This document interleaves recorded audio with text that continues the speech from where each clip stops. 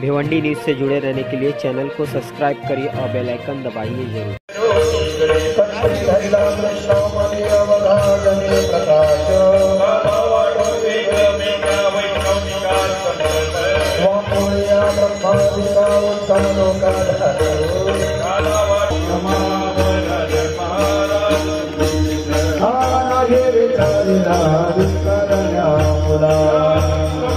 श्रीमद् भागवत गीता का जो यहाँ पे आयोजन किया गया तो आप किस प्रकार का आप संदेश देंगे और भक्तों को क्या संदेश मैं तो ये कहूँगा इस वक्त कि दयानंद चोरगे ने जो यहाँ पर भागवत कथा का आयोजन किया, ऐसे ही प्रकार का आयोजन जो प्रतिष्ठित लोग जो कहे जाते हैं समाज में, वो सबने करना चाहिए। क्योंकि अभी आपने देखा कि इस मंडप में दयानंद स्वर्ग कोई पक्ष में है या उस, उनकी कोई प्रतिष्ठा है, ये न देखते हुए सभी पक्ष के लोग, विविध क्षेत्र से लोग यहाँ पर आए थे।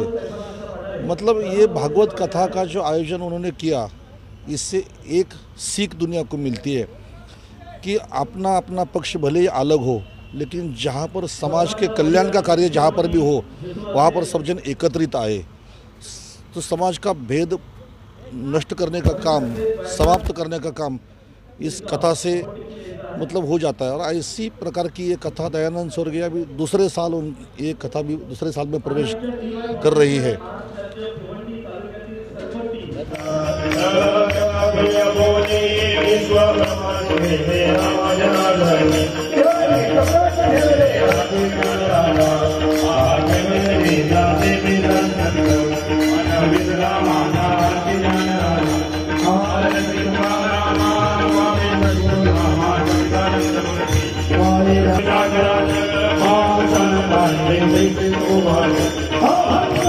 जाता जाता जाता जाता. अवतार संपत असताना हा श्रीमद भागवत उद्धवांना सांगितलं. खरं म्हणजे गीता कसं जगावं याच्यासाठी गीता सांगितलेली आहे. आणि माणसाने कसं मरावं याच्यासाठी श्रीमद भागवत सांगितलेलं आहे. कृपया दोन मिनिटं मी काही जास्त भाषण करणार नाही. पण भागवत आहे तो सांगायला पाहिजे. वारिंगे महाराजांचं आपण भागवत विनोद ठाकरेंकडे ऐकलं दयानंद चोरगेंकडे ऐकलं अतिशय सुंदर भागवत सांगणारे एक कोकणातला एक छोटासा महाराज आहे. कधी महाराष्ट्रात उलट पाणी गेलं नव्हतं डोंगरावर कधी गेलं नव्हतं डोंगरावरनं नेहमी खाली येतं. पण खालनं डोंगरावर चढून महाराष्ट्राच्या कोणा कान्या कोण्यामध्ये वारिंगे महाराजांची कीर्तन होतं एक मला स्वाभिमान आहे. त्यांच्याबद्दल आदर आहे. महाराज नुकतेच संस्थेतून निघाले होते माझी आई वडील वारलेली होती एकोणीसशे नव्याण्णवमध्ये. मी महाराजांना सांगितलं की एक रात्रीचं कीर्तन करा तुम्ही. त्यावेळेला नवीनच होते ते. आणि त्यावेळीला येऊन माझ्या आईच्या रात्रीमध्ये ते एक कीर्तन केला. तिथपासून माझी दोस्ती आहे एकोणीसशे नव्याण्णवपासून. भागवत का ऐकायचं? जर चांगलं करायचं असेल आपल्या जीवनाचं जर सार्थक करायचं असेल तर श्रीमद भागवत कथा ऐका आणि ती पण अधिकारी माणसाच्या हातून ऐका कोणाच्या हातून तरी नका ऐकू. वारिंगे महाराजांनी आपलं अखंड जीवन परमार्थावर ओतून दिले झोकून दिले कधी पैशाचा सौदा इतर लोकांसारखं ते कधीच केला नाही.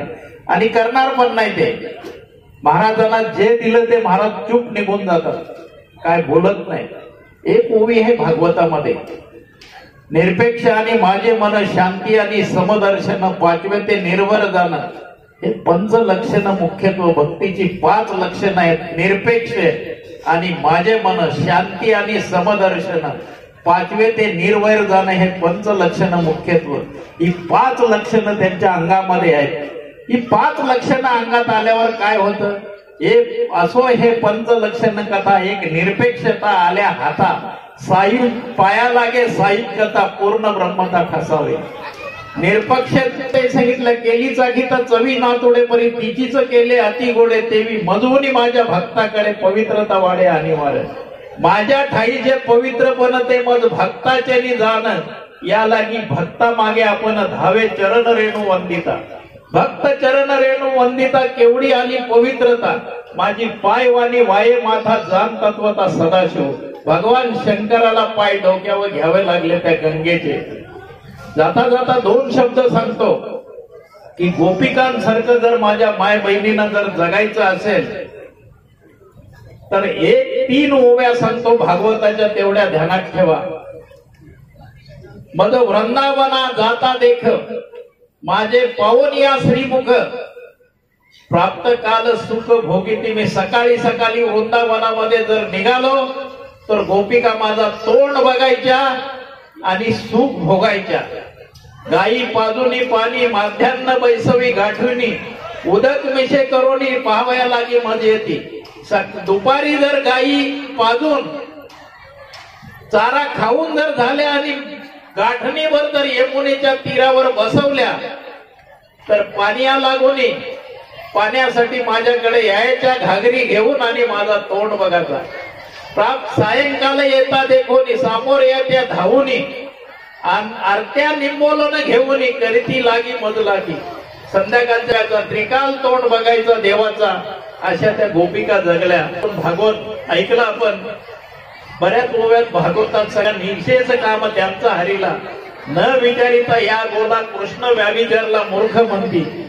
कुब्जा काय सुंदर होती तिच्या प्रेमाची मज प्रीती राधा प्रार्थी मज वनाप्रती काय विषयासक्ती लागोली मला या ठिकाणाला बोलवलं बहुमान दिला त्याबद्दल तुम्हा सर्वांचं हार्दिक अभिनंदन करतो आणि वारिंगे महाराजांना सांगतो की अशीच या परिसरावर आपली